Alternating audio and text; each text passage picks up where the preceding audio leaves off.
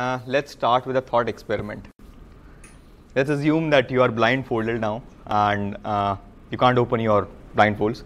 And can you uh, can you just walk out of this center, uh, this lifelong institute outside, and can you walk on the road? Can you go to your ho- uh, hotel? Can you go to your uh, restaurant without even opening your eyes? I think we already know the obvious answer, right? That's not possible, and the obvious answer is no. Until you have some superpowers, and in that case, please don't be, please don't waste your time here. Just go and save humanity with poverty and hunger. So, hey everyone, uh, I'm Prabhanshu Attri, and I'll be talking about uh, contextual app experiences.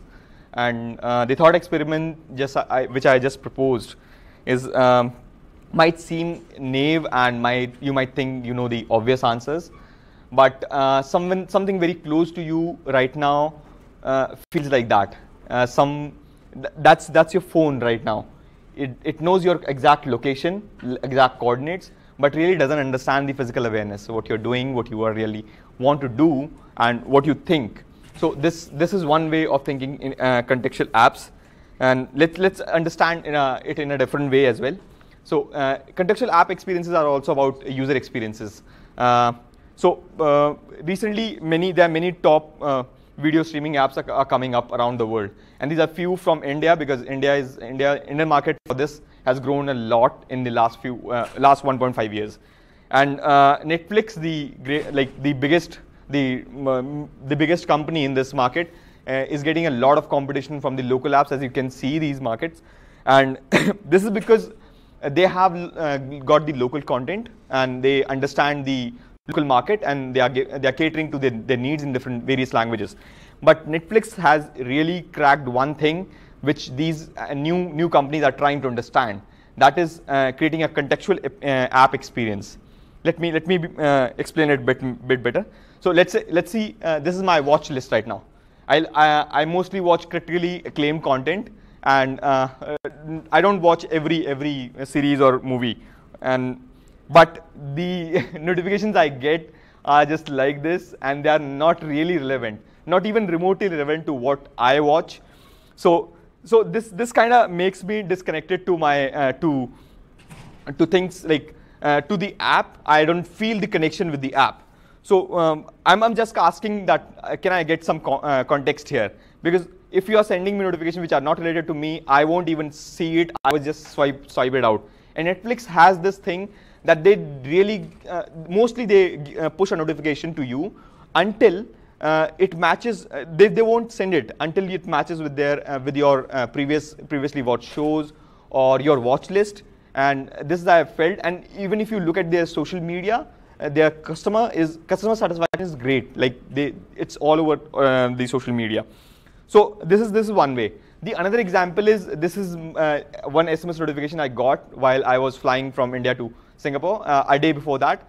Uh, my airline sent me a notification saying that I should download this app Jet Screen, so that I can save myself from boredom while I'm during the flight. This is a good experience telling your user customer that you can do this so that you can enjoy some media, some content on, on board.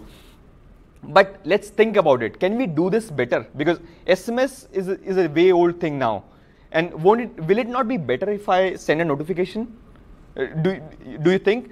And uh, will it not be better if I send it while I'm at the gates, uh, while the user at the is at the gates, and uh, an hour before boarding, while he's thinking about his journey, then he can decide whether he wants to download the app or not, right? So how do you send a notification without the without the user having uh, the app.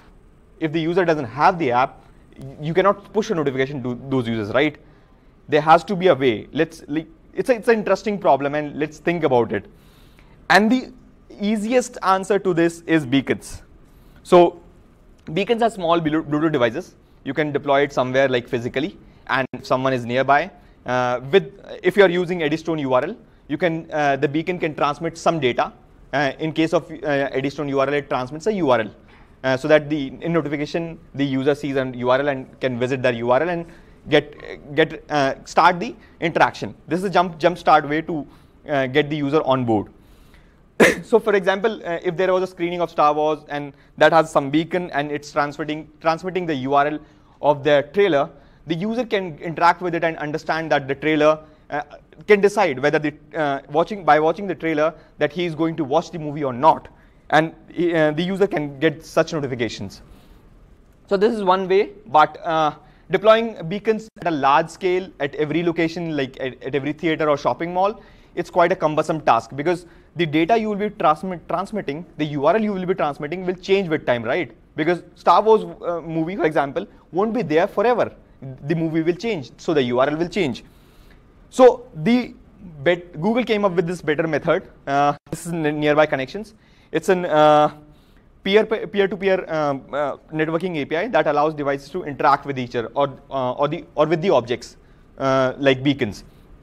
So uh, in, in, a nutshell, it's, it lets you push a notification to users in a vicinity who are connected, who feel, whom with, with you feel that this notification is relevant and uh, they can it's a way to jumpstart the user to uh, get you get on board so uh, if you if you want to check whether you are opt uh, whether you have already on, enrolled into the service or not because every android device has a nearby notification now. And if you go to settings now and uh, into google and uh, then you select nearby you can see that whether you whether you want to opt in or opt out of this service. This really gives the control to the user.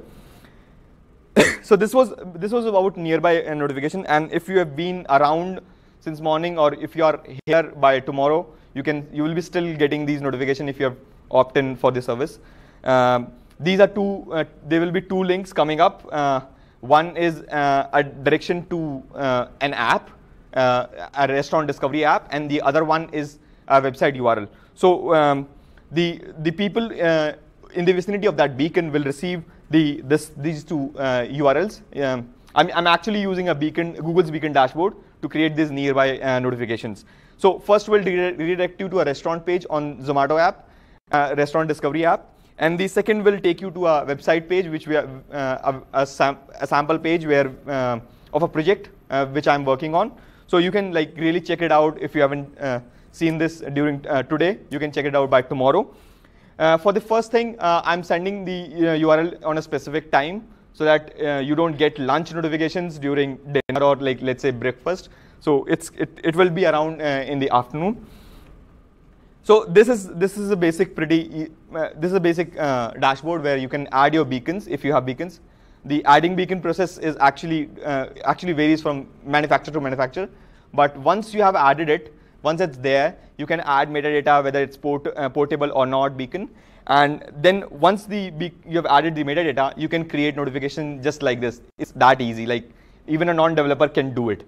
So this is about beacons, but uh, nearby connection is not just about beacons. It's more of a publish and subscribe service where one device can publish some messages and the other device can subscribe to those, messages.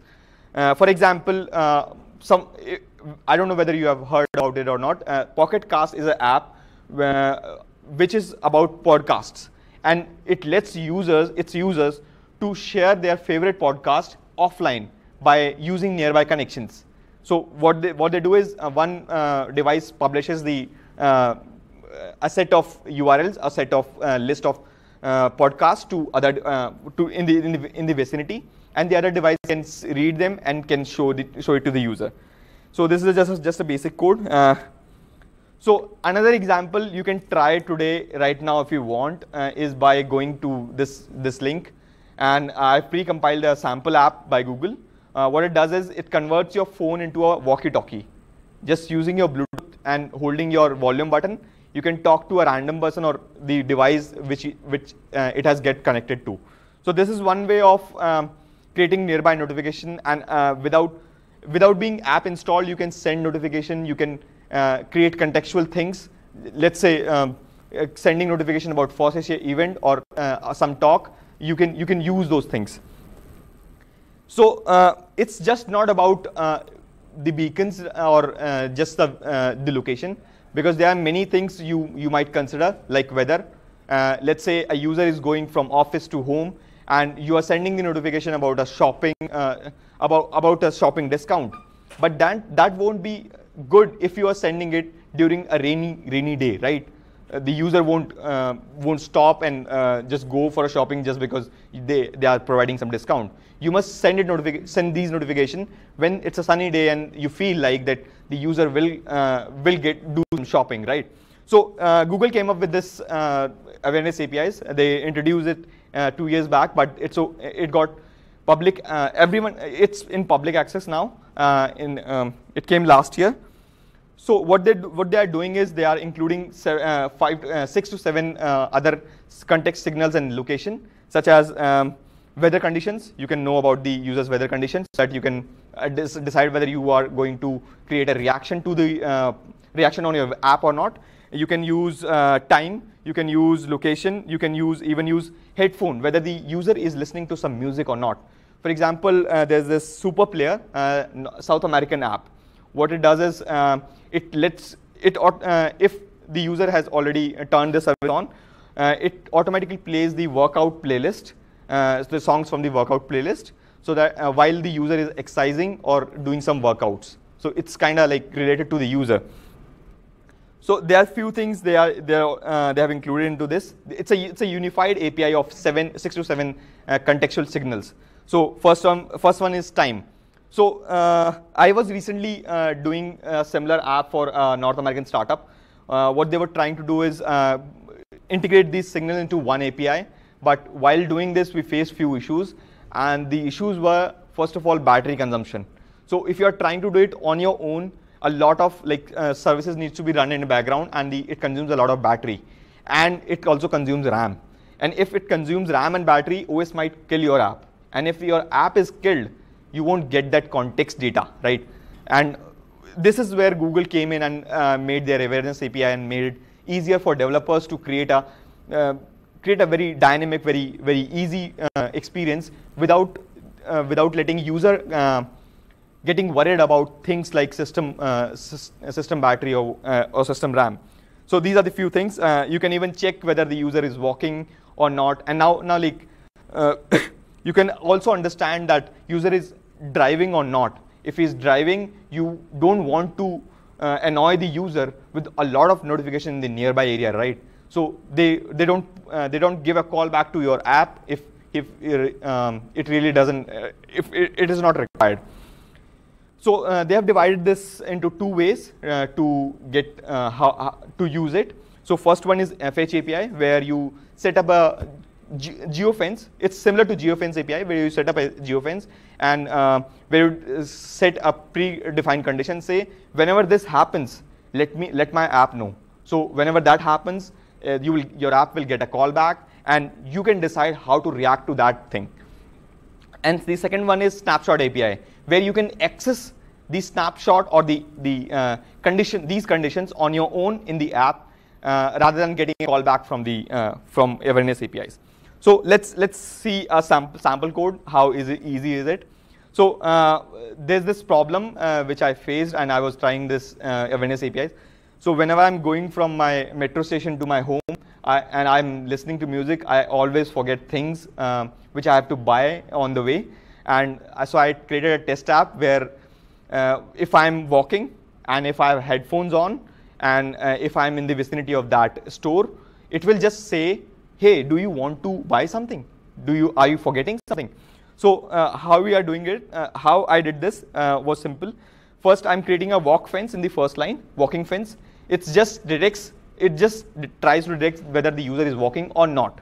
In the second line, I'm trying to detect, I'm sorry, uh, I'm trying to detect a headphone uh, fence. I'm, I'm creating a headphone fence where I'm trying to detect whether the user has headphones on, on or not. In the third line, I'm trying to integrate these two into one fence so that uh, it, get e it gets easier for other uh, for uh, further. In the third line, I'm trying to uh, create an area around the store. So it has uh, the user must be in the vicinity, right? Without that, you cannot send it to every user. So uh, in the in the fourth line is just the opening hours. So this is also one condition you like you must think before while developing that store might be closed. So you, you need to decide the store hours as well so that the geofence, uh, the, the callback is at the right moment, not, not, every, not every time. So once, once I've created these fences, uh, in the in the third last line, uh, I, what I'm doing is integrating the first fence and la the last two fences into one so that I have a complete fence where the user is walking with headphones on near the store during its open hours. And the, in the last two lines, I'm just updating it and uh, registering it with the Google Awareness APIs. So in this condition, if the user is walking around the store during uh, while while listening to songs and the store is open, you your app will get a call back. It doesn't matter whether your app is uh, is running or it's killed. It really doesn't matter. You, your app will get a call back, and you can decide what you what to do with it. So uh, this is one way. But uh, what if you want to access the data while the app is running? So this is snapshot API code, as simple. Uh, this is much simpler than that. Uh, rather than creating fences, you can just use one line code. The first line code, what it does is, you can get the places data of the user. Uh, let's say with, with the places type, right? Let's say the user is at a restaurant, so you can get the data where he is and uh, what type of um, establishment is that. And the, in the second, uh, second line uh, is just a simple code to get the weather conditions. So let's say it's raining, and in that case, if I'm walking and it's raining, I won't be buying it. I won't. The user won't be considering uh, even buying anything. He, the user wants to go from A to place to B place or, or to home right? So you don't have to push notification or to create some interaction with that. So uh, this is this is uh, this these are the few things. You must be uh, how many of you have how many uh, of you have Chromecast? Like you must have experienced that, right? So when you buy a Chromecast uh, and you turn on the Bluetooth, it, you get a notification saying let's set up your Chromecast. That's that's nearby notification. That's that's how awareness APIs are actually working. So these are few companies which are also doing it. And uh, I was involved with the North American startup who was doing a loyalty program. What they were doing is whenever the, whenever the user is around a restaurant or a shopping mall, and uh, it's a it's a good good time to shop or to have lunch or dinner.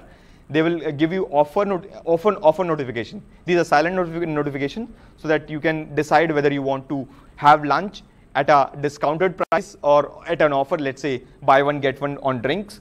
So this is how they were trying to uh, do it. And this actually makes the restaurant discovery or the establishment discovery a, a better experience. And uh, like uh, Trello also did this uh, while uh, while uh, using the awareness API in the in the initial stage. What they did was they enabled the user to share Trello boards offline. They were just transmitting the link to the Trello board so that the user in the vicinity can share it together very easily without even having like without having uh, going online or whatever doing. And uh, Android TV remote, uh, if you have Android TV, you must be knowing it because Android TV remote works on this only. Like it gives you a pop-up while you are at home saying, "Hey, do you want me to turn on the TV?" or like, uh, "Do you want me to?" This show is there and other things. So in the in the world of increasing um, uh, increasing apps in the world where apps are uh, as are acting as a services where notification are just delivery platforms and it's less about user um, user opening your app. It's more it's more of a like experience where you push your user to ask them to come to your app and have an interaction with the system, have uh, have the user interactive, uh, have the environment interactive. So this, the, hence we we need uh, contextual app experiences so that it's so that it's better for the user to have a better experience. Thank you. So I'm open to questions if you have. Any questions? Can the user control which app I want to give access to? Notify me instead of turning on the code. As in, as in? Let's say I'm you know, I switched on that. I don't want everybody to provide. Yeah. So uh, with with nearby notification or uh, this is a thing within nearby notification Nearby notification comes when you don't have the app. They are used when you don't have actually have the app. So you can actually mute those uh, those notifications. If you mute them, and a lot of people are muting them, they will be marked as spam. And only HTTPS URLs are allowed at the nearby notification, and uh, so you can actually mute them, and it makes a better user experience. Gives a control to the user as well.